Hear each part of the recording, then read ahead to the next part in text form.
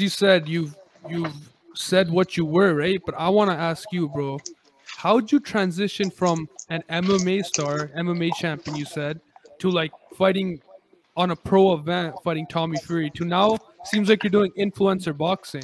Want to explain the Um, transition there? A lot of it came from Jake Paul. um, you know, talking shit to Jake Paul on Twitter. BJ mm-hmm. Flores caught notice and invited me to go train fights. Jake Paul, so I did. Did a hell of a job. Jake Paul gave me an offer that I couldn't refuse to come to Puerto Rico and train with him.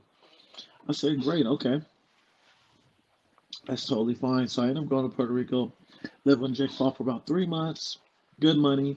And then Jake was like, hey, man, you're a cool dude. Let me give you the opportunity to change your life and fight Tommy Fury.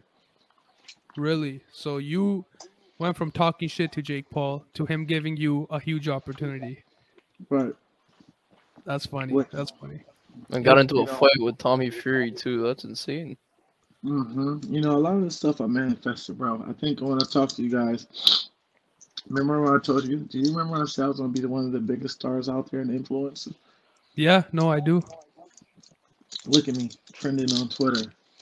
You know, going going fucking viral. One of the most famous guys out there besides Jake Paul and KSI.